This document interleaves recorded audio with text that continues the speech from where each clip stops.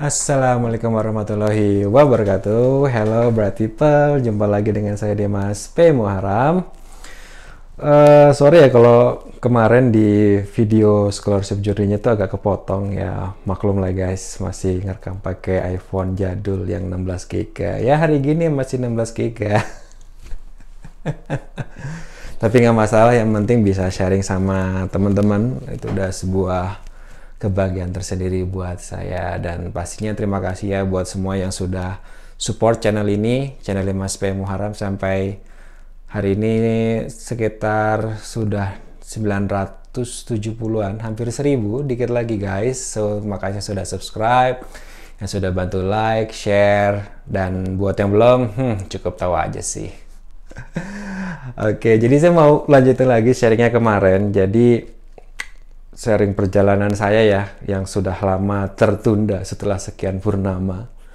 Uh, yang berangkat kemarin tanggal 17 Februari dan sampai di Australia tanggal 18 nah jadi terakhir itu kan saya sampai pada transit ya. Jadi penerbangan itu kan flightnya kita naik Garuda tidak bisa direct langsung ke Adelaide karena memang nggak ada yang direct ke Adelaide kalau Garuda. Kecuali kalau terakhir itu saya dulu pernah naik MH ya Malaysian Airlines.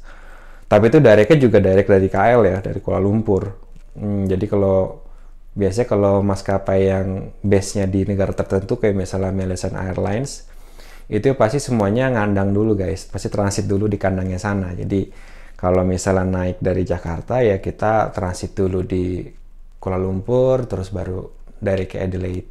Terus juga kalau misalnya saya baca sih kalau naik SQ naik Singapore Airlines uh, kita misalnya dari Jakarta ya pasti ke Singapura dulu baru dari ke Adelaide. Nah kalau Garuda itu dari Jakarta ke Sydney dulu, Sydney baru naik nyambung Kantas atau yang lain, nah, tapi kemarin kebetulan naik Kantas ke Adelaide-nya. Nah terus um, saya juga sempat warning ya bahwa kalau misalnya transit di Sydney upayakan cari yang waktu transitnya itu jangan terlalu singkat ya kayak misalnya cuma satu jam dua jam gitu. Meskipun mostly sih penerbangan Garuda itu cukup tepat waktu ya sampainya tuh sekitar sampai jam, jam 9.30 waktu Sydney di Kingsford Smith Airport tapi butuh waktu lumayan untuk transitnya gitu. Jadi jangan yang cuma satu atau dua jam. Saya kebetulan kemarin tuh 6 jam. Dan dari terminal 1 ke terminal 3 di Kantas. Nah ada satu yang mungkin bisa jadi notes juga buat teman-teman bahwa kan bawaan kita banyak ya. Saya sama adik saya itu bawa koper aja tuh masing-masing dua belum yang hand carry gitu kan. Itu jadi lumayan banyak dan kalau waktu di Soekarno Hatta itu kemarin ya gampang, pas dateng langsung cari troli, tinggal dorong, tinggal sorong gitu kan.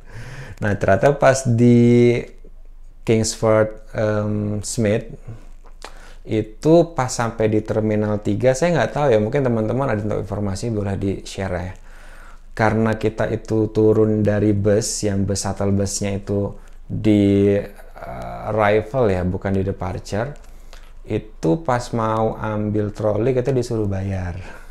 Dan bayarnya itu nggak bisa pakai cash lagi guys. Itu ternyata harus pakai debit card atau kredit card. Ya untungnya ada saya punya kredit card. Um, jadi bayar sekitar 4 dolar untuk sekali pemakaian trolinya. Ya udah jadinya ambil satu troli didorong-dorong lah sampai ke tempat um, untuk apa untuk baggage untuk check in lah ya. Nah karena kemarin tuh naiknya Garuda, jadi kita sudah check in dua-duanya tuh, jadi udah punya boarding pass dua-duanya, jadi tinggal clearance untuk masukin barang lagi aja. Nah nggak enaknya itu guys kalau misalnya naik flight yang beda beda apa beda maskapai gitu, beda airlines itu ketika di city itu kita harus ambil barang dulu dan masukin lagi ke ke maskapai atau ke connecting flightnya. Nah sebetulnya kemarin tuh sempat agak-agak was-was ya. Karena kan kita bawa barang banyak dan baggage-nya itu maksimal cuma dapat 30 kilo. Dan terus juga ada satu hal lagi yang menarik bahwa meskipun baggage-nya 30 kilo, jadi ternyata 30 kilo itu nggak bisa satu koper gede maksimal 30 kilo uh, teman-teman jadi maksimal itu satu koper tuh cuma bisa 23 kilo. Nah karena kita pengen dioptimalkan bisa bawa 30 kilo maksimal jadi ya terpaksa tuh kita akhirnya bawa koper 2 yang ukuran medium jadi biar bisa 15-15 atau 16-14 ya. Jadi um, dioptimalkan lah. Terus juga kemarin ada yang ngasih tahu juga bahwa ya prepare lah kalau misalnya ternyata mungkin gravitasinya berbeda gitu ya jadi beratnya itu juga uh, beda gitu. Tapi harusnya enggak lah ya kan masa itu kan kilogram itu kan pakai masa ini ya pakai masa jadi nggak harusnya nggak ngaruh ya bukan bukan berat bukan newton ya. Tapi whatever lah ya tapi kadang-kadang itu terjadi sering beda. Jadi kita prepare nggak di nggak di optimal 30 kilo tapi ya ada ada spare dikit lah 500 gram gitu um, pas di Jakarta sih alhamdulillah sih nggak masalah ya langsung lewat aja hmm, nggak hmm, ada masalah gitu Nah, ketika di Sydney, alhamdulillah juga lolos juga. Mungkin karena dilihat bawaan-bawaan kita sih banyak banget. Kayak saya tuh bawa kayak ada alat terapi yang hand carry itu aja berat banget sekitar 6 kilo. Belum tas, laptop. Terus ada adik saya bawa-bawa sepatu, ditenteng, ditaruh di uh, kayak goodie bag gitu. Terus pokoknya banyak sebetulnya. Tapi mungkin karena kita berdua jadinya bawa barang banyak nggak dimasalahin. Cuman ada teman satu rombongan juga dari Indonesia dia itu kayaknya kelihatannya agak banyak dan sendiri kan itu jadinya kayak semacam harus dibongkar pasang lagi gitu loh harus dibongkar pasang jadi yang hand carry nggak boleh terlalu banyak suruh masukin ke bagasi nah itu salah satu tips sih guys jadi uh, untuk baggage jangan sampai lah ya kita kayak udah datangnya buru-buru, waktunya telat, apa waktunya mepet gitu misalnya terus nanti ketika mau check in disuruh bongkar-bongkar dulu kurangin barang gitu kan. Jadi mendingan di prepare se meskipun kadang-kadang ya kadang-kadang ada juga yang bilang oh sampai 30 kilo satu pieces nggak masalah kok gitu. Tapi untuk amannya ya mendingan bawa dua medium medium terus maksimal satunya 23 kilo. Atau di, di split lah jadi 15-15 gitu. Jadi biar aman guys. Nggak perlu um, khawatir nanti harus bongkar-bongkar bagasi ya.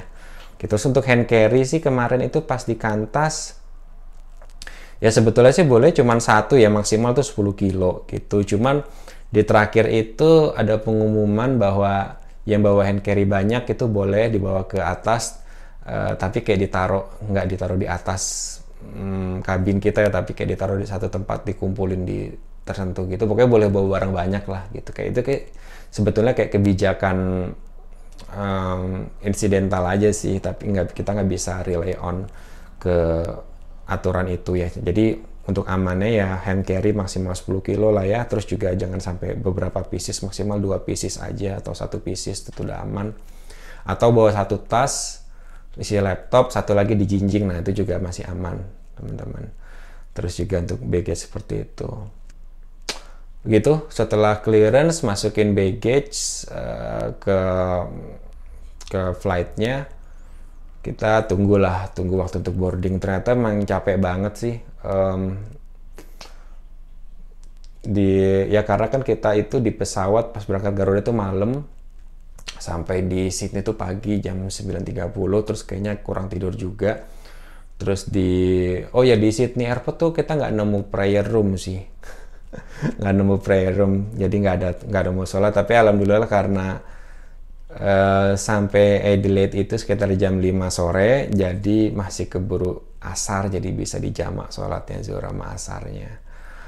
Um, pas naik kantas nggak ada masalah alhamdulillah nggak ada masalah. Bahkan buat yang disabilitas juga mereka sangat support uh, langsung dikasih priority juga bukan di Garuda aja uh, langsung dikasih priority. Oh ya karena pas di Garuda itu uh, kita sudah lapor. Buat yang passenger with disability kita lapor bahwa kita butuh asisten uh, jadi nanti pihak sorry pihak yang Garuda di Soekarno Hatta itu juga dia lapor ke connecting flight yang di Kantasnya buat kasih kayak semacam dikasih notice lah bahwa ini butuh uh, special treatment gitu ya. Jadi kalau yang berdisabilitas itu biasanya kita disuruh masuk duluan tapi turunnya belakangan gitu ya. Masuk ke pesawat boarding duluan biar mungkin nggak ada sedesekan sama yang lain bisa orientasi dulu.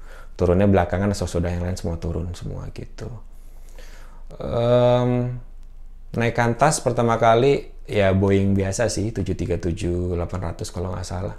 Kursinya agak sempit cuman agak norak sih. Mungkin nggak tahu teman-teman udah banyak. Kalau saya kemarin nemu di pesawat yang uh, ekonomi tapi ada wifi-nya jadi lumayan lah ya sambil di pesawat bisa sambil update-update ngecek-ngecek komen-komen di Facebook atau di WhatsApp gitu. Jadi nggak masalah tuh. Yang penting tetap di airplane mode on mm, mobile seluler nggak diaktifin jadi pakai wifi dari pesawat aja. Lumayan lah ya.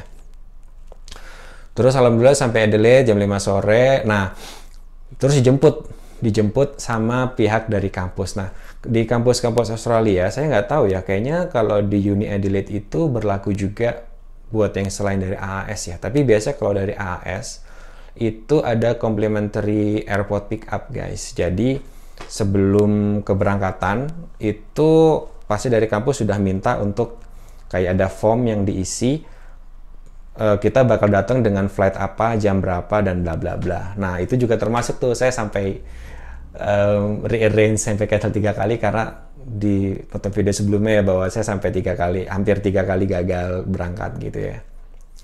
Terus ada yang jemput uh, dan itu gratis termasuk sama saya ada carernya itu gratis juga.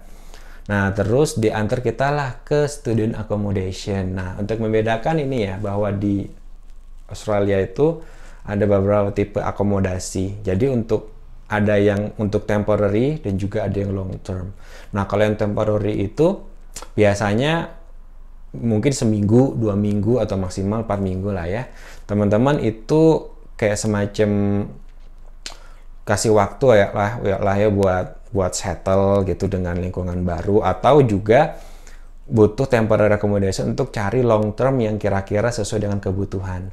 Nah, temporary-nya itu bisa beberapa hak, bisa beberapa pilihannya. Saya kemarin ada teman yang dari Laos, dia itu pilih di hotel. Jadi kayak hotel di dekat sini di North Terrace, di dekat kampus itu dia seminggu itu kalau nggak salah kemarin cerita itu uh, 500 ya. Tapi mereka berdua. 500 dollar itu berdua uh, seminggu mereka berdua. Nah kalau yang saya pilih itu di student accommodation. Jadi student accommodation itu bisa dikatakan kayak asrama baik itu asrama yang dikelola langsung sama kampus atau yang ada kerjasama sama kampus. Nah saya itu pertamanya itu mau temporary di di sini di student accommodation-nya yang memang punyanya Uni Adelaide namanya The University of Adelaide Village. Kampung lah ya tapi ya nggak tahu. Jadi pengen ngerasain lah oh Adelaide Village kayak gimana gitu ya.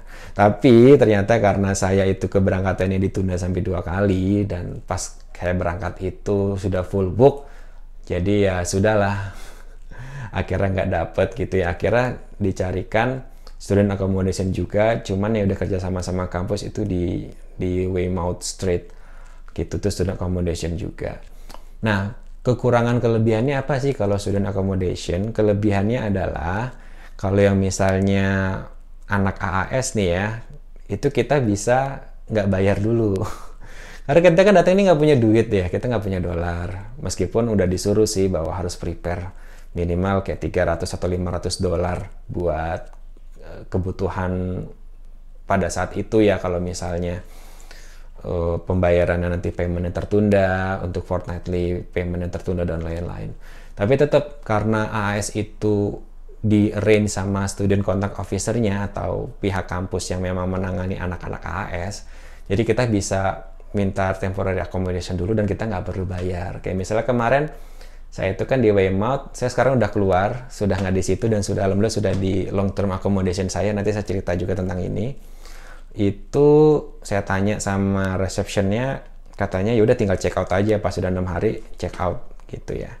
Nggak usah bayar, nggak usah apa. Kayaknya nanti bakal dipotong sih dari kayak semacam uh, fortnightly atau allowance kita itu yang per dua minggu itu bakal dipotong dari cuman nggak tahu kabarnya tapi itu saran nanti lah. Yang penting kita nggak perlu bayar dulu lumayan gitu ya. Nah cuman kekurangan itu sebetulnya mahal banget guys. Jadi kayak misalnya uh, student accommodation itu udah kecil, ya kecil banget lah ya, cuman ukuran kamar, kayak terus juga kamar mandinya kecil, ya kayak asrama lah ya. Cuman saya udah kemarin kemarin dapetnya ukuran studio, jadi saya bisa sama adik saya itu di satu kamar, uh, ada splitnya gitu, ada separatornya, tempat tidurnya masing-masing, single bed masing-masing. Itu per person itu 445 dolar guys. One week loh ya, satu orang itu seperti itu. Um, emang mahal banget gitu ya. Cuman mau gimana lagi yang paling gampang itu nggak perlu nyari ribet-ribet, nyari sendiri, nggak perlu bayar dulu. Karena memang di sini itu di warning kalau misalnya untuk yang long term accommodation jangan pernah bayar dulu sebelum inspe sebelum inspection atau ngelihat langsung atau datangin langsung um, akomodasinya. Gitu. Itu buat yang long term. Nah ada lagi namanya yang untuk yang sorry itu yang temporary ya. Kalau yang long term itu biasanya entah bisa tetap di student accommodation atau di private rent. Nah, kalau di student accommodation itu biasanya kalau tadi itu kan harga 445 itu harga karena kita hanya temporary seminggu ya. Biasanya kalau um, yang long lease kayak misalnya 6 month atau 12 month gitu untuk yang sewa jangka panjang. Itu kemarin saya ada cerita dari teman dari Malaysia, dia di student accommodation di di University of Adelaide Village. Itu kan kalau harga mingguannya tadinya itu harga temporarinya itu cuman tiga, uh, bukan cuman sorry itu 355 dolar per week. Mahal juga sih tapi masih lebih murah dari ketimbang yang di Wemot ya ya malum lah nasib mulut telatan ya. Nah pas saya tanya dia kalau misalnya dia dia tuh ngambil listnya setahun sewa setahun itu berapa? Jatuhnya cuma 200 uh, Australian dollar per per week. Masih mahal cuman itu udah inklusif all bills gitu ya kayak AC list, uh, listrik gas dan uh, internet itu mereka udah nggak mikirin lagi kayak gitu. Nah, cuman kalau di long term accommodation itu biasanya bisa dapat harga lebih murah, entah kayak 170, 160. Kadang-kadang ada yang udah inklusif bills. Cuman ya kelemahannya mungkin jaraknya agak jauh karena ini kan kita Uni Adelaide di, di CBD ya di tengah kota. Uh, Uni Adelaide, Uni SA, uh, di Adelaide kan ada, ada tiga kampus besar yang public public university. Ada Uni Adelaide, Uni SA itu di Noteres di kota, semuanya di CBD tengah kota ada lagi Flinders University itu dia ada kampusnya juga sih yang kecil di kota, cuman yang besar yang main campusnya itu di daerah Bedford sana, jadi agak agak pinggir lah ya. Nah itu buat teman-teman yang di Flinders sih nggak masalah, mereka dekat kampus pun juga murah tuh, lumayan relatif murah lah ya. Gitu. Tapi kalau yang dari di kota itu ya harus kalau misalnya mau yang murah carinya agak jauh, jadi naik bus. Nah itu salah satu kelebihannya itu cuman kekurangannya adalah rata-rata umumnya kalau misalnya kita itu belum punya link atau koneksi yang orang dikenal di sana kita nggak boleh untuk langsung ambil sewa dulu sebelum inspection. Pihak penyewanya atau agentnya itu juga nggak mau gitu loh. Jadi kita tuh harus udah dateng sudah dateng terus um, lihat tempatnya nanti mereka milih siapa aja yang udah dateng yang mau dipilih yang, yang dapat approval siapa dapat approval siapa nanti barulah kita bayar. Gitu. Nah tapi ini beda kasus sih. Saya juga ada teman dari di Indonesia. Dia kebetulan ada link atau ada yang ngasih tahu bahwa di sini ada orang Indonesia juga yang yang udah jadi permanen residen di sini dan dia punya uh, accommodation. Nah jadi udah dari jauh-jauh hari udah booking itunya bahkan nggak perlu bond. Nah, saya jelasin nanti soal bond. Nah, dia ya udah ketika datang langsung masuk. Jadi pas sampai di sini nggak dia nggak perlu temporary accommodation langsung di long term accommodation dia gitu dan harganya uh, relatively juga murah gitu ya. Cuma saya kemarin karena memang pengen carinya itu yang dekat sama kampus. Sebenarnya sudah ada nawarin sih temen juga temen dari film tuh dia di sini kerja di sini dan nawarin juga buat uh, share house sekitar 165 uh, per person cuman agak jauh 10 kiloan gitu dari kampus saya cuma nyari yang benar-benar dekat dalam dia sekarang dapat yang dekat banget dari kampus dan harganya juga relatively reasonable lah kita bisa cerita soal accommodation yang di sini Nah, terus ada lagi long term itu biasa ada bond teman-teman. Kalau student accommodation biasanya nggak ada bond, cuman disuruh bayar aja kan ya. Bond itu kayak semacam uang jaminan. Ya kalau di kampus ya nggak perlu uang jaminan ya karena udah jelas oh dia mahasiswa sini nggak bakal kabur ke mana-mana juga. Nah bond itu uang jaminan yang itu disepakati antara penyewa dan juga tenant atau kita yang menyewa dan itu nanti uangnya itu di lodge atau ditaruh di state government jadi bukan bukan apa bukan penyewanya yang yang megang. Meskipun kita transfer ke dia tapi dia nanti akan setor lagi ke state government. Nah itu ada ketentuannya. Buat sewa yang kurang dari 250 Australian dollar per week itu maksimal dia boleh minta bond 4 untuk 4 weeks. Nah, untuk yang maksimal untuk di atas 250 itu bisa maksimal 6 weeks. Nah, saya kebetulan di long term accommodation sekarang ini uh, saya bonnya itu sekitar 1800 Australian dollar gitu. Nah, itu akan di lodge ke state government dan nanti di akhir di akhir masa sewa itu bisa akan dikembalikan atau bakal jadi dipotong kalau misalnya kita itu mungkin ada kerusakan atau ada apa. Ya nanti saya akan kasih tips yang lain ya. Pokoknya itu semacam uang jaminannya. Jadi salah satu kekurangannya adalah dia butuh bond butuh uang jaminan gitu. Jadi buat teman-teman yang mungkin scholarshipnya agak mepet nggak dapat uang agak kayak semacam establishment fund establishment allowance kayak anak-anak AS mungkin agak sulit ya gitu. Tapi alhamdulillah kemarin ada gitu ya buat teman anak-anak AS itu ada establishment allowance di awal gitu ya sekitar 5000 Australian dollars nah itu lumayan bisa kepake untuk bond ya hitung-hitung kita nabung juga lah ya. Gitu. Nah itu sih um, yang bisa saya sharing untuk kali ini. Jadi dari mulai transit terus sampai akhirnya sampai di Adelaide dan ada yang gratis kayak ya, complimentary airport pick up terus juga soal temporary accommodation, long term. Nah, nanti next saya mau share lagi soal um, long term accommodation sekarang. Saya ting tempatnya tinggal sekarang ini mungkin kelihatan ya teman-teman. Ruangannya ya nggak bagus-bagus banget, cuman sangat reasonable lah ya. gitu dan terima kasih thanks for watching dan jangan lupa untuk subscribe channel 5SP Muharam lalu ajak juga buat teman-temannya klik like dan juga share video ini ke sebanyak orang agar makin banyak yang dapat informasi ini dan kita semua bisa mendapatkan masa depan dan cara secara sinar mentari. Oke, okay, thanks bright people, thanks for watching and see ya.